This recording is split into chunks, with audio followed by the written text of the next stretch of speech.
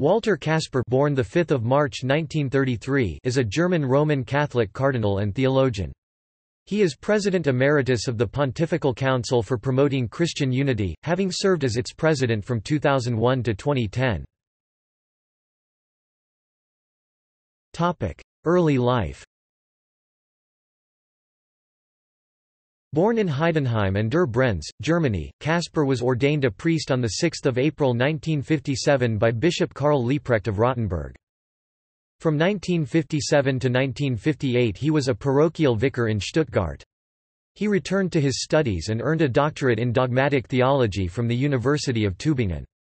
He was a faculty member at Tübingen from 1958 to 1961 and worked for three years as an assistant to Leo Scheffczyk and Hans Küng, who was banned from teaching by Vatican authorities because of his views on contraception and papal infallibility. He later taught dogmatic theology at the University of Munster 1964 rising to become dean of the theological faculty in 1969 and then the same in Tübingen in 1970. In 1983 Kasper taught as a visiting professor at the Catholic University of America. He was editor of the Lexikon für Theologie und Kirche. Bishop of Rottenburg-Stuttgart Kasper was named Bishop of Rottenburg-Stuttgart, Germany's fourth largest Catholic diocese, on 17 April 1989. He was consecrated as a bishop on 17 June that same year by Archbishop Oskar Saier of Freiburg im Breisgau. Bishops Karl Lehmann and Franz Kühnle served as co-consecrators. In 1993 he and other members of the German episcopate signed a pastoral letter which urged allowing divorced and civilly remarried German Catholics to return to the sacraments, to the disapproval of then Cardinal Ratzinger and Pope John Paul II. In 1994, he was named co-chair of the International Commission for Lutheran Catholic Dialogue. Cardinal He was elevated to the cardinalate by Pope John Paul II in the consistory of 21 February 2001, as Cardinal Deacon of Ognissanti in Via Appia Nuova. Kasper was one of a dozen or more like-minded cardinals and bishops who met annually from 1995 to 2006 in St. Gallen, Switzerland, to discuss reforms with respect to the appointment of bishops, collegiality, bishops' conferences, and the primacy of the papacy as well as the Church's approach to sexual morality. They differed among themselves in varying degrees, but shared the view that Cardinal Joseph Ratzinger was not the candidate they hoped to see elected at the next conclave. Upon the death of John Paul II on 2 April 2005, Kasper and all major Vatican officials automatically lost their positions pending the election of a new pope. He was a cardinal elector in the 2005 papal conclave. On the following 21 April, Pope Benedict XVI confirmed him as President of the Pontifical Council for Promoting Christian Unity. On 21 February 2011, he was promoted to the dignity of Cardinal Priest pro hac vice. This means that the title is his personally, but that the Church of Ognissanti remains a cardinal diaconate and his future successor to the title would be a cardinal deacon unless provided otherwise. Kasper was the oldest cardinal eligible to vote in the papal conclave of 2013, having been 79 when the papacy became vacant. His 80th birthday was on 5 March 2013, a few days after the resignation of Pope Benedict XVI. His eligibility to serve as an elector ended when that conclave concluded. Pontifical Council for Promoting Christian Unity On 3 March 1999, Kasper was appointed Secretary of the Pontifical Council for Promoting Christian Unity, and as such, President of the Pontifical Commission for Religious Relations with the Jews, and resigned from his post in Rottenburg Stuttgart. Reconciliation with Jews He was critical of the Congregation for the Doctrine of the Faith document Dominus Iesus 2000, which he believed was an offense to the Jewish people. In 2003, he wrote a text called Antisemitism, a wound to be healed for the European Day of Jewish Culture.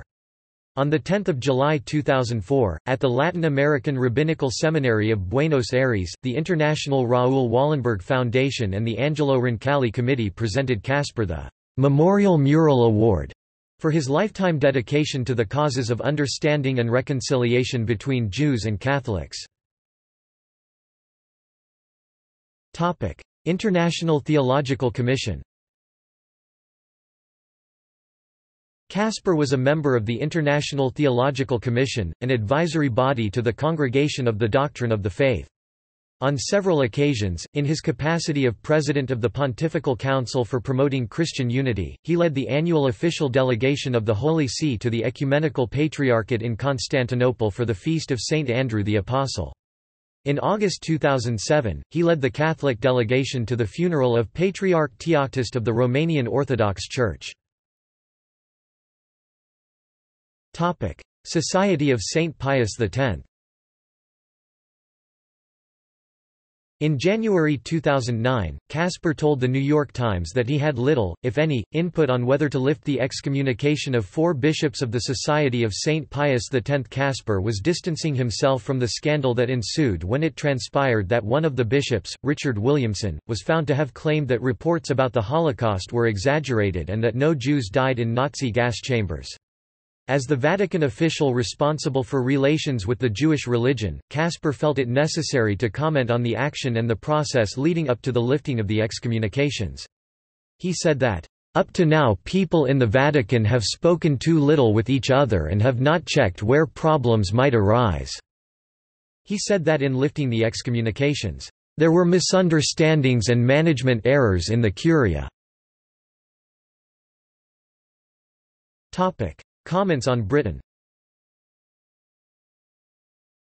In September 2010, Cardinal Kasper withdrew from the papal visit to Great Britain, after reportedly saying that Heathrow Airport gives the impression of a third world country and that the United Kingdom is marked by a new and aggressive atheism. In an interview with a German magazine, he was quoted as saying, When you land at Heathrow you think at times you have landed in a third world country. Kasper's secretary explained it as a description of the many different people that live in Britain at the moment." He said that when one wears a cross on the British Airways, "...you are discriminated against," a reference to the British Airways cross controversy. British Airways said that Kasper had been "...seriously misinformed," in his claims about the airline, and that, "...it is completely untrue that we discriminate against Christians or members of any faith." A spokesman for the Church in Britain said that Kasper's remarks were not the views of the Vatican or of the Church.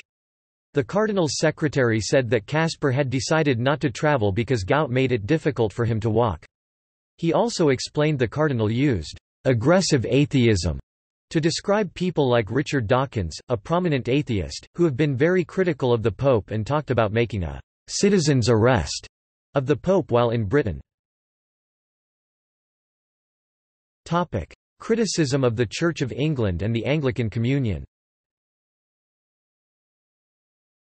Cardinal Kasper has criticised the Church of England policies in relation to female priests and the elevation of women to the episcopate. He expressed his views in the address given to the Church of England bishops' meeting at 5 June 2006. He said that the ordination of women as bishops would call into question what was recognized by the Second Vatican Council Unitatis Redintegratio, 13, that the Anglican Communion occupied a special place among churches and ecclesial communities of the West.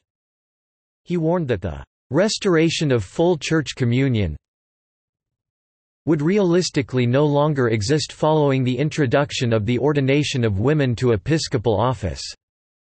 He spoke at the 2008 Lambeth Conference, criticizing sharply the departures from Christian orthodoxy taken on women clergy and episcopate and even more by some member churches of the Anglican Communion on allowing the blessing of same-sex unions and non-celibate homosexual clergy. He called at the occasion for a new Oxford movement to rise among Anglicanism. Pope Francis Pope Francis, on 17 March 2013, four days after his election as pope, called Kasper, "...a clever theologian, a good theologian." In the course of a sermon in which he reported that Kasper's book on mercy, "...did me a lot of good." Proposal of admission at communion of remarried couples Cardinal Kasper's proposal to admit to communion the Roman Catholic couples who have remarried, while still being legally married according to the Church's doctrine, is the most controversial question in which he has been involved insofar during the pontificate of Pope Francis. On 21 February 2014, Kasper said at the Cardinals' consistory held in Rome that, "...the Church cannot question the words of Jesus on the indissolubility of marriage." Whoever expects the consistory and the synod to come up with easy, general solutions that apply to everyone, are mistaken.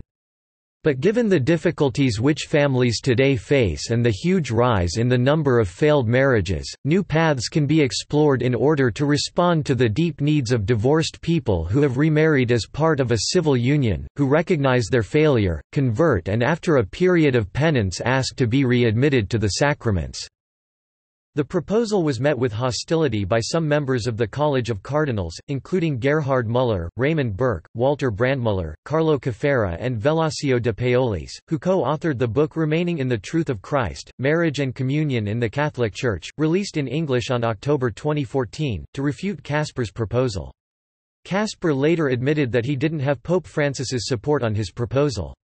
He praised Pope Francis' Encyclica Amoris Laetitia, saying that the correct interpretation is that it allows the admission of divorced and remarried people to communion in some individual cases. 2014 General Synod During the Third Extraordinary General Assembly of the Synod of Bishops in 2014, Cardinal Kasper told reporters that since African, Asian, and Middle Eastern countries have a taboo against homosexuality. They should not tell us too much what we have to do. Once the story broke, he denied that he made any such comment. The reporter who wrote the story, Edward Pentin, subsequently produced a recording of the conversation, which verified that the cardinal had made those statements. Cardinal Raymond Burke called Kasper's remarks, "...profoundly sad and scandalous." Kasper subsequently confirmed that he had had the conversation, and offered this response for one of his remarks. If one of my remarks about Africans was perceived as demeaning or insulting, then I am honestly sorry. That was and is not my intention, and not my view at all. No one will deny that Africa's culture is different from Europe's in many respects. But I have been in Africa too often not to esteem African culture highly. Kasper also said parts of the Catholic media were engaged in a deliberate dirty tricks campaign against him, and said that the fact that Catholic media and unfortunately a cardinal in person should participate in it, in order to tear down another position morally, is shameful. Book on the Eucharist Cardinal Kasper published a book entitled Sacrament of Unity, The Eucharist and the Church, in 2005, a reflection on the Eucharist partly inspired by John Paul II's encyclical Ecclesia de Eucharistia. He insisted on the sacrificial character of the Eucharist, an aspect somewhat overshadowed after the Council. Book about Jesus Christ Cardinal Kasper's book Jesus the Christ 1974 treats Christology in three manners, a contemporary approach, a historical approach and a factual approach. After these three approaches have been exhausted, the Christological themes of resurrection, mystery, and priesthood are treated. Ecclesiology is seen as part of Christology in this book because the Church is oriented towards Christ in his person, since Christ did not only say things, but he also did things.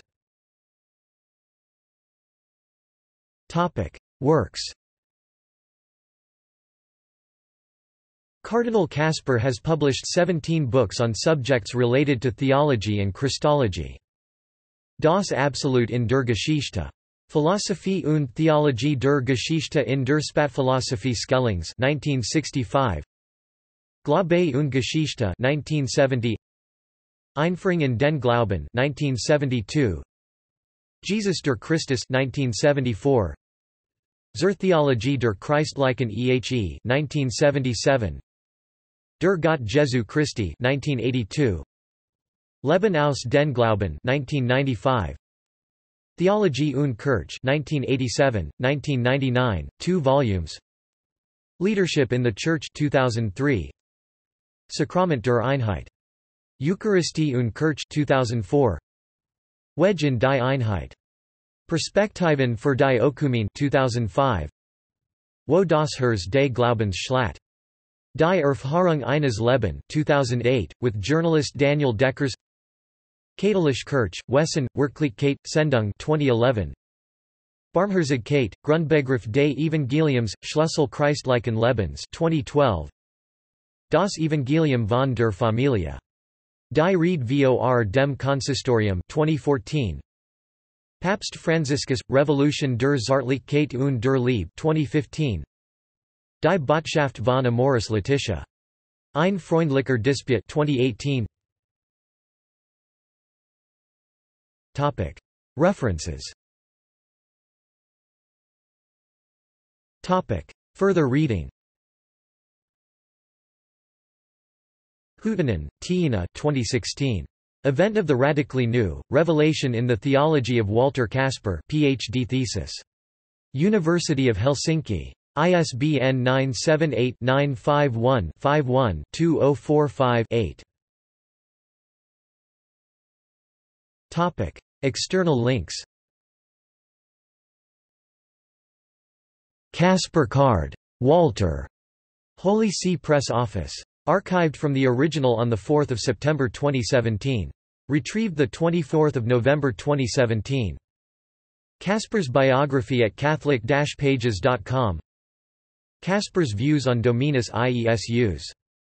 Islam is a different culture. Spiegel Online, interview with Cardinal Walter Kasper, 18 September 2006.